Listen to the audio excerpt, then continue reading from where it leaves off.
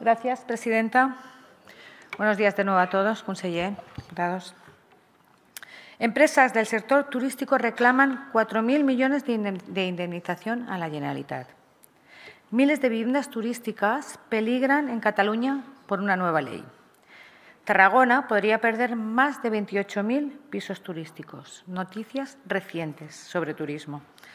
La diputada de Junts, la señora Batlle, en esta moción ha expuesto la importancia del turismo para nuestra región y en eso creo que todos aquí estamos de acuerdo. Denunciaba el incumplimiento de la Generalitat por no elaborar la nueva ley del turismo, pero mire, lo extraño sería que cumpliera la Generalitat.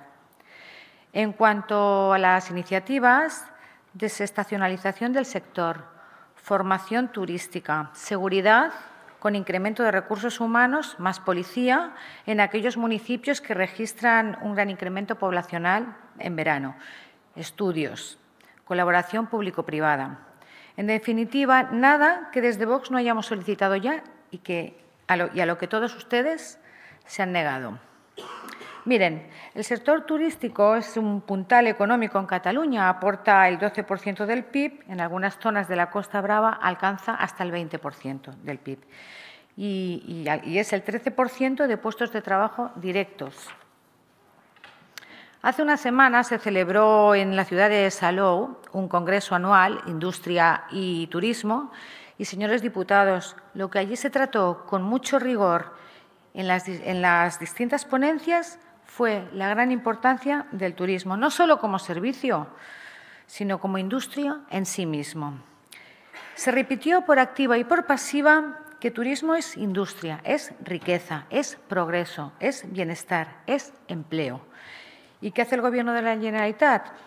Poner trabas, aumentar la burocracia, crujir a impuestos a empresarios y trabajadores, criminalizar a los turistas, no preservar la seguridad, la última ocurrencia del Gobierno de Esquerra para proteger al sector turístico, el Decreto Ley 3-2023, de 7 de noviembre, de medidas urgentes sobre el régimen urbanístico de viviendas turísticas. Un decreto redactado desde el más absoluto desconocimiento del tema. La semana pasada también algunos diputados aquí presentes estuvimos, asistimos en el Círculo de Economía de Barcelona a la presentación de, datos y estudios de pisos turísticos. Por cierto, la directora de Turismo se ausentó a los pocos minutos cuando el catedrático que presentaba el estudio explicó los datos que dejan sin argumentos la falsedad de la exposición de motivos de su decreto, de su nefasto decreto ley.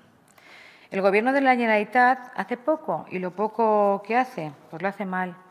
No se puede legislar sin conocimiento. Por ese motivo, estamos de acuerdo en sus propuestas de realizar estudios de impacto económico y social del turismo, de las distintas clases de alojamiento y, por supuesto, un estudio riguroso y objetivo basado en datos sobre las viviendas turísticas en Cataluña. De ahí nuestras enmiendas de que estos estudios, que ya deberían de estar hechos, se realicen desde la Dirección de Turismo. Y eso hay que hacerlo antes de legislar no han sido capaces de gestionar el tema de la vivienda y pretenden hacer pagar su incompetencia a la gestión pública, a la gestión de, su incompetencia de gestión pública al sector privado. En lugar de establecer una colaboración público-privada, el Gobierno pretende imponer, obligar al sector privado a que solucione los problemas que ustedes han creado en las últimas décadas. Pero, señores, como no han estudiado las causas ni los datos, resulta que sus imposiciones no solo no solucionan, sino que agravan aún más el problema de vivienda ya existente. Y para acabar, para acabar es necesario regular de una forma ordenada, sensata y con conocimiento. Es necesario promover la calidad, es necesario diversificar, es necesario concienciar e impulsar el turismo en Cataluña, con la finalidad de proteger y preservar la industria, la turística, tan importante para nuestra región.